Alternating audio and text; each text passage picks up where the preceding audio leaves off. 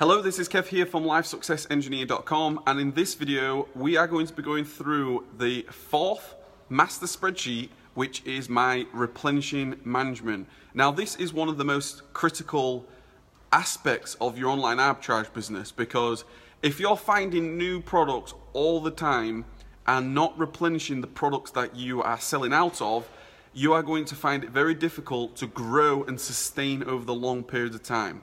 Okay?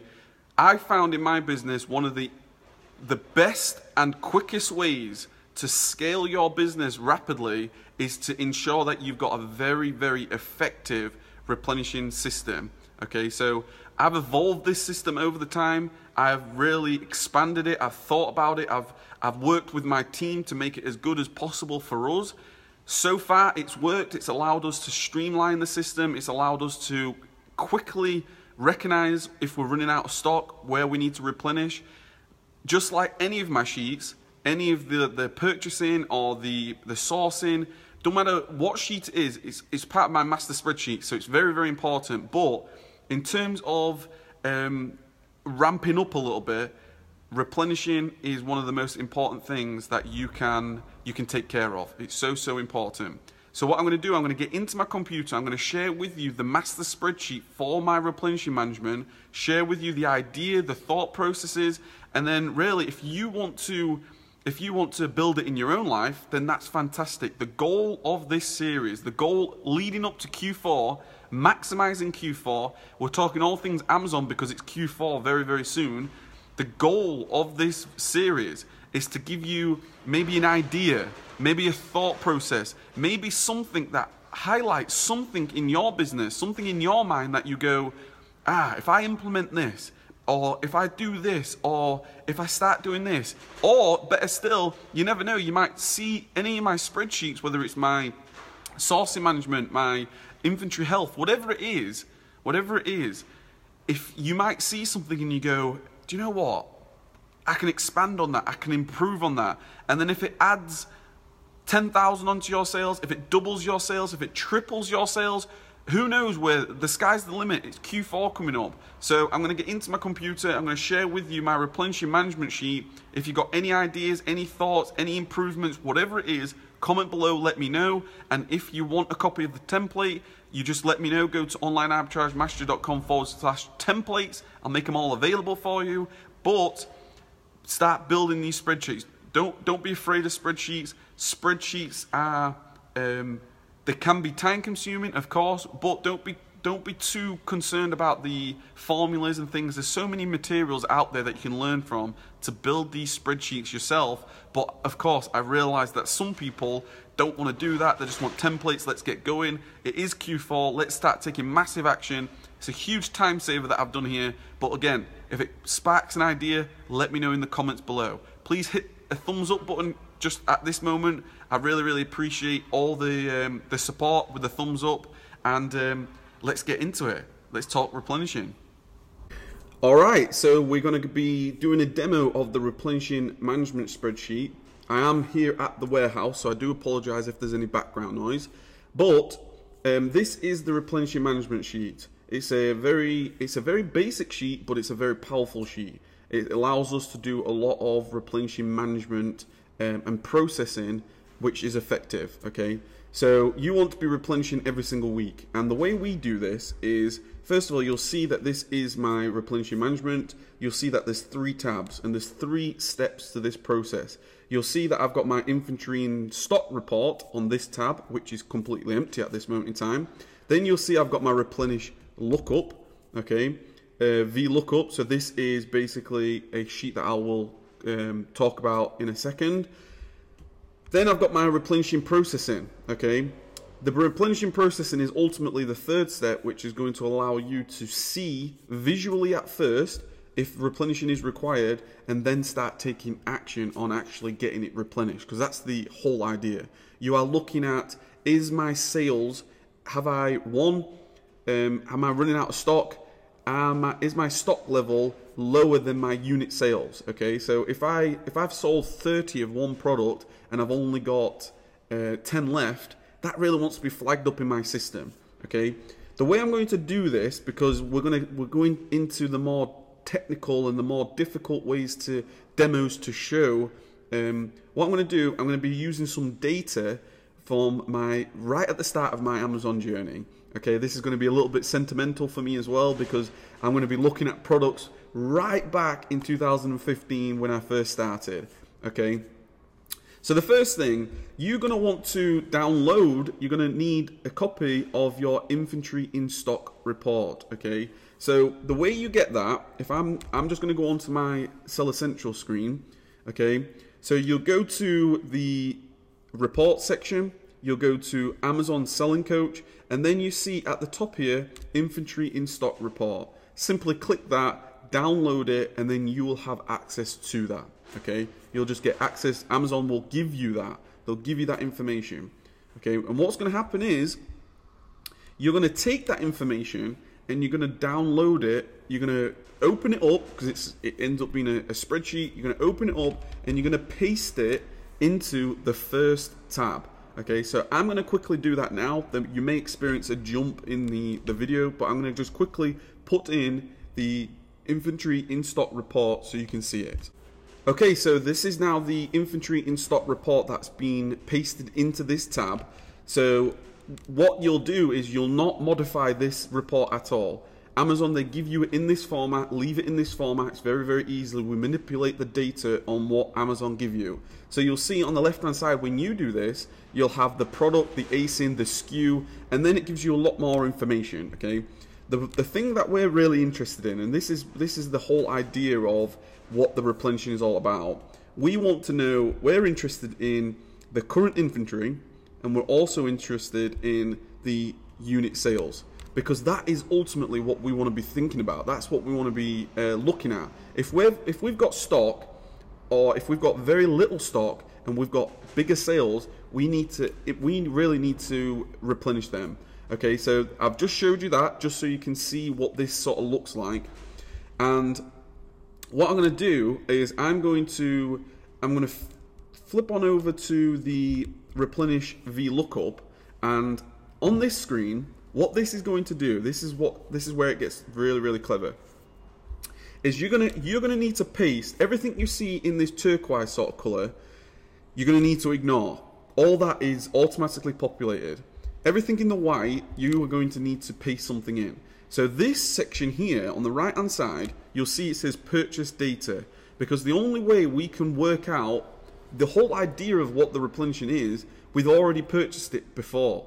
So you're going to want to take all your previous data and you're going to want to paste it into here. It could be months upon months. It really depends on what, what your system, what, what you want to do. But if you use your purchase data, then your inventory and stock report is going to be all the ASINs that you are going to be interested in is going to be in that purchase data. Okay, so for this purchase data, what I'm going to be using is my 2015 information. Okay, so this is just a bit sentimental for me. You can see here, this is actually this is this was actually June of 2015. You can see down the bottom. Um, I started June 2015, then obviously July, August, September, October, November, and um, this is when I first started. This is exactly the sheet that I used. I can see literally the first product that I ever sold, which was uh, an amazing uh, Monsters Inc the university, um, my scare pal Sulley. It was like a, I was I was basically um, uh, buying it for twelve pound fifty at the time, uh, selling it for twenty three pounds twenty one pence. I bought four of them, and um, yeah, my profit was going to be about four pound each. Which was a margin of, of 34 percent, but at the time this was incredible. This was profit for me for the first time. It was it was amazing. Anyway, so that was a, a little bit sentimental. You can see the date was actually the 2nd of June 2015 when I purchased that. So what we're going to need, you need the history, you need your purchase data. So I'm going to take that, okay, I'm going to take that and um, I'm just going to paste it. I'm not going to do anything with this data apart from simply paste it, okay. Once it's pasted, it's obviously, it's now got your purchase data Okay, what it's going to do, it's going to do, first of all, it's going to populate this column, just ignore that one. All it's simply doing is it's getting hold of these asins again. And what we do then, um, which is basically what you would do in real time, in real life, you will take your inventory in stock report, you will take the column that has all your asins in it, okay? You'll have, because this is your inventory and stock report, you'll take that column and what you're gonna do, you're gonna paste it into here. You're gonna paste it into here. And what that's going to do, it's going to VLOOKUP all this here is going to VLOOKUP whatever you've got in this box here, in this this table here.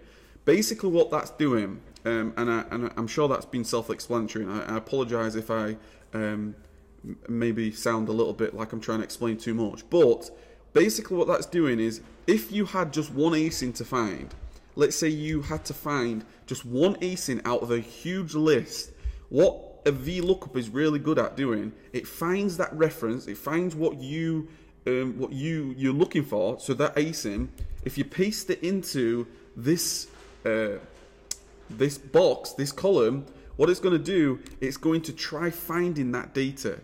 It's going to try finding that data wherever the VLOOKUP has been um, set up. Okay, so you'll see now what it's done, it's found, okay, it's found, you can see now, it's looked for this ASIN, it's looked for where that is, and now it's it's populated what it was. So you can see it's from Smyths, you can see all the information in terms of buy for, sell for. That's what it's done. You can do the again, you can do the same with any of these ASINs. You can paste it in just in the box it's a bit of a more he uh, heavy file, if you like, because of all the formulas. So it's going to take some time to think. It's scanning through all the information, and um, what it's going to do, it's going to literally populate. So uh, once it does this, there you go. It's populated, and it finds that data. So what that's doing, really, if you think about it, the inventory in stock ASINs if you paste it into this column, it's going to populate everything. It's going to populate, it's going to find all the asins that are really important to you. Okay, so I'm going to just take these, just as a, a, a bigger example, I'm just going to paste them here. just for the purpose, now you might be thinking, well, why are you using just this, this, this table? It's, it's more to do with time saving.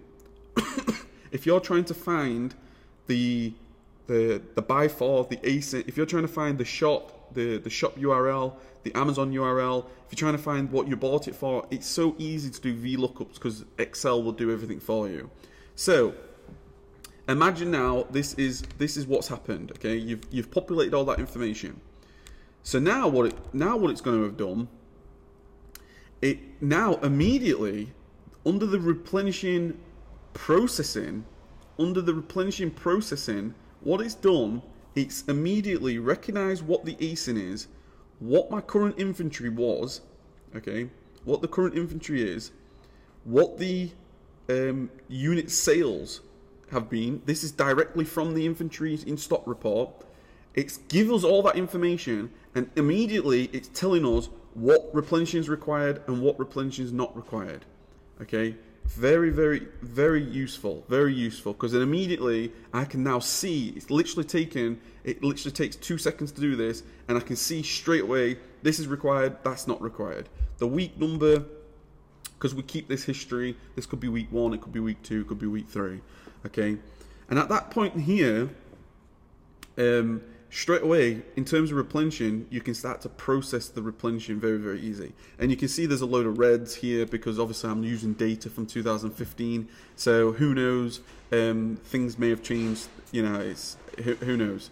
Um, but another thing that we've been working on, and this is where it gets very, very interesting. And this is something from in my life, that in my business, one of the the best things that I did in my business is I began to recruit people, virtual assistants, that are far smarter than me. And that will openly, honestly say that. That is one way of getting on in life. If you have, if you surround yourself in incredibly smart people, you can, um, you can really fast forward and boost your progress. So what I did, I challenged one of my virtual assistants. Could I, could we replicate the um, the calculator? Okay, the calculator, and what we've done, the the FBA calculator, what we've done in my business is we have done that for the use of um, ease, time saving again. Okay, so these two columns here, I could turn them white. You know, I, let's turn them white. Let's just quickly do this here. Let's say um, you're trying to replenish these, and obviously, as a part of your replenish system, you're going to want to change you're going to want to change the buy for and the sell for because that's the whole idea. You now know that this needs replenishing, but you don't know whether um, you don't know whether it's actually capable of being replenished. So this one here, for example, this top one here, although it says uh, replenish not required, let's just use this for an example. What we'll do, we'd open this up, we'll open up this, hopefully this, uh, this link is still available on Amazon, but we'll open it up and we want to first of all, we want to see what the buy for is and what the sell for is. Okay, but where the it sort of takes a bit of time uh, in messing about with the the sell for, increasing it, decreasing it, because once you change the sell for, you're gonna have to change the FBA fee preview. Okay, so what takes some time. So what we'll do, for example, let's take this um, because we're going to prove something here now. If we go for, if we work out that the sell for is now actually, I don't know, let's say it's twenty nine ninety nine instead of 23, you'll see what it's done. The FBA fee preview is actually um, automatically changed. It's actually increased.